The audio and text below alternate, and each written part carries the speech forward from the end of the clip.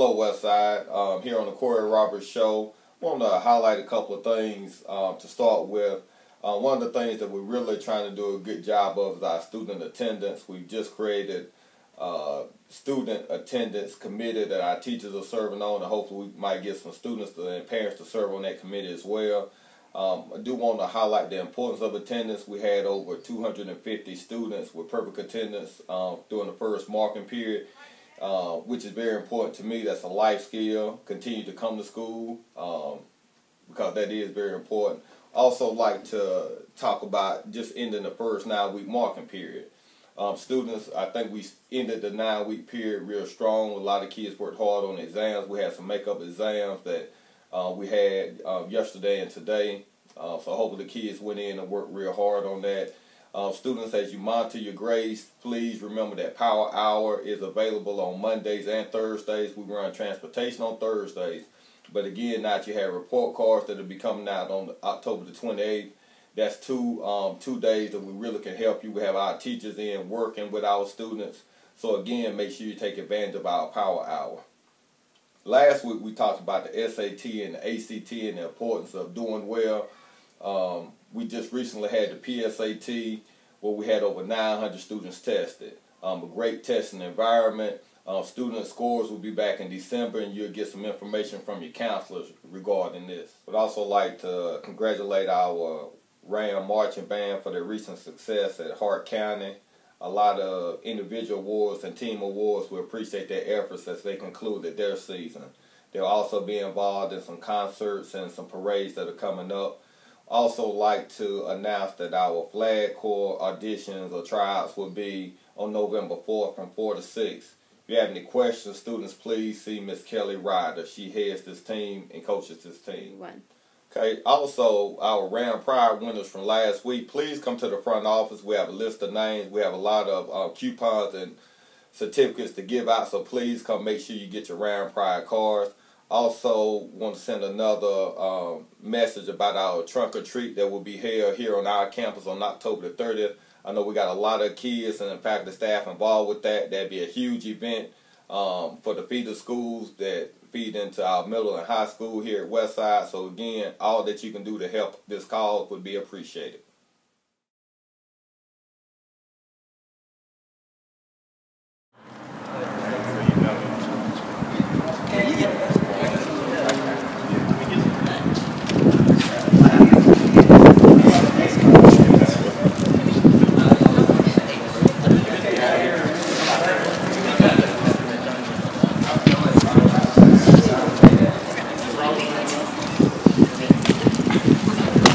Hey guys, we got Trick or Treat coming up next Thursday, October 30th from 5.30 to 7.30 at the Westside Walking Track. All kids, 5th grade and under are welcome to come out. We ask that you please participate. If you need to sign up, please stop by Coach Holbrook's room. Thank you Westside, have a great day.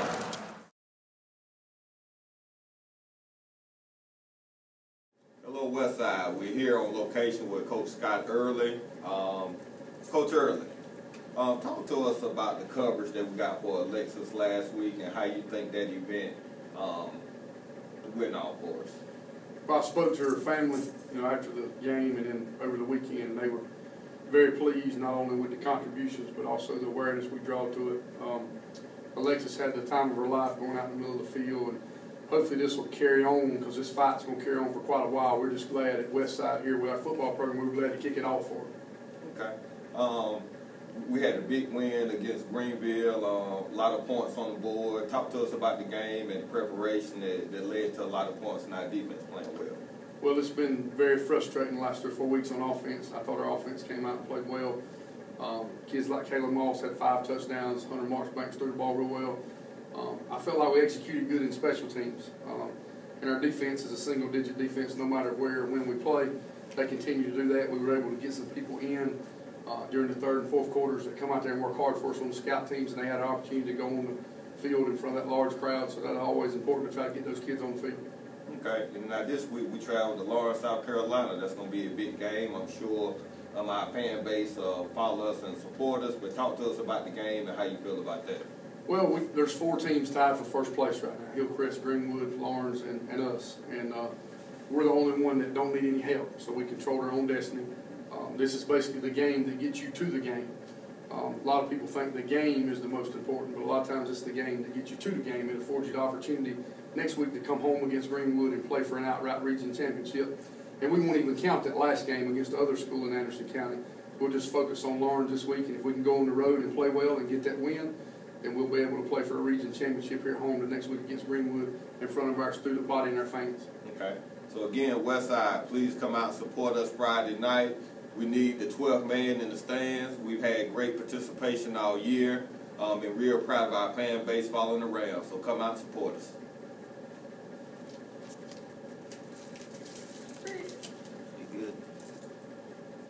Hey, Danny, I was wondering, could I get some candy? Hey man, here, what's mine is yours. thank I need you to do a favor though. Yes, sir. Make sure that our student section travels to Laurens on the road in the biggest game of the year. Yes, sir. I love our crowd at home, but we need more participation on the road. Yes, sir. All right. Um, another thing, Coach Early, I would like to congratulate you for being the Carolina Panthers Coach of the Week. I know you've been honored by the Anderson Touchdown Club twice this year, but I thought it was a great honor to go across borders all the way to North Carolina to be selected as the Carolina Panthers Coach of the Week. I appreciate that, Mr. Roberts. When you've got the quality of coaching staff I do and the kids I do, it's easy to get stuff like this. So I appreciate it, and the honor goes to those guys, not me. You think um, you can take me to the game? Absolutely. I heard they play in the Packers. Okay, that'd be a good one. We'll be there. West Side, congratulations to Scott Early, Carolina Panthers Coach of the Week.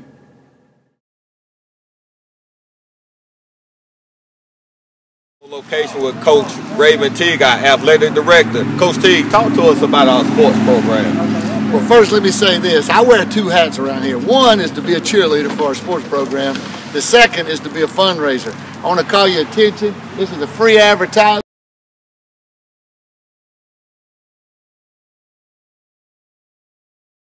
Our billboard up there, all of those businesses contributed $44,000 to the uh, West Side Athletic Program. I'm asking you to shop with them. You also, you see those student athletes up there? They're not up there by accident. Those were chosen to be good senior representatives about what we are here at West Side now. The new Ram spirit, that is pride, character, and all of those things. And so if you see those guys doing anything wrong, you let Coach Teague know, and you'll see my other hat, which is the administrative hat, come out. Let me tell you about fall. Fall has been really fun this year. Football games, of course, have been exciting. New atmosphere, new attitude out there, the music, everything that goes with Friday Night Lights. Love the student sections, things they're doing. Of course, we're excited about being six and two, looking at uh, rolling up a region championship here over the next couple of weeks. Turn around at the same time and maybe even get to host a playoff game. So I, I hope you continue to come out and especially uh, next week, which will be senior night on Halloween night. Uh, we're going to play some trick or treat on the, on the group from Greenwood. See if we can't trick them out of a region championship. Also in the fall, we got volleyball. Volleyball, we had a great senior night with it. I thought the girls played well. I think we've got some really good seniors. It's, it's given us a lot of effort. Hopefully they'll get to play at the next level. Uh, cross country, boys and girls competed last week at uh, region. Our girls finished fourth overall, which is their strongest finish, and I don't know when probably nobody around here knows when, so we're excited about them going on to upper state this week and hopefully qualifying for the state meet. That takes us into the winter. In the winter, it starts off with wrestling. We got wrestling season coming up.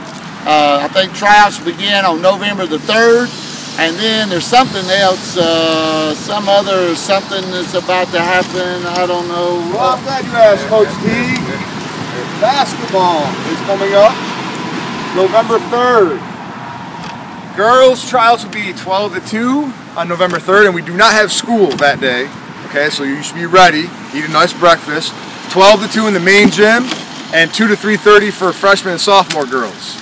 And then boys, varsity trials will be 3:30 to 5:30, November 3rd, and then freshman and sophomore boys will be 5:30 to 7 on November 3rd. So make sure you're ready. Make sure you have your sneakers on, ready to run, ready to get busy. This year, um, we're expecting a lot out of the varsity team. We've got one of my seniors here, KG. You're gonna ask me a few questions. First question, what are sneakers? Sneakers are the northern way for saying tennis shoes. I guess the southerners like to say tennis shoes down here. So, Coach, what's one of the main focuses uh, the basketball program has for this year? Well, number one for the boys is to improve upon what we did last year. Hopefully, make the playoffs, compete for a region championship. Um, we're going to be centered around defense. So hopefully, if you plan on trying it out, you better be able to play some defense this year. And the girls, as you know, your mom being the coach, they're always competing for a region championship, and so they should be doing the same thing this year. And what else besides sneakers does anybody need to try out? Well, number one, you need a physical on file with the athletic department. So if you did not play a fall sport, you need to go get that physical done, turned in. You need an athletic handbook completed, filled out. Your mom, dad, or your guardian needs to sign it. You need to sign all the paperwork in there and fill it out and turn it in to me. If you have any questions about what you have or have not completed, please see me and I will let you know. You will not be allowed to try out if you don't have all that stuff turned in. Thanks, Westside. Hey, wait up, wait up, wait up!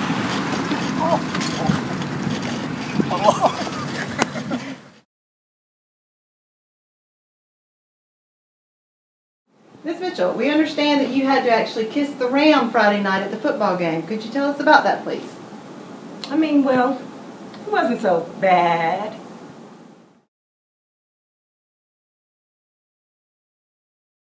Rolling in my 5.0 with my rag top down so my hair can blow. The girl is on standby, waiting just to say hi. Did you stop? No, I just drove by, kept on. Pursuing to the next stop. I bust a left and I'm heading to the next block. The block was dead, yo, so I continue to A1A. Beach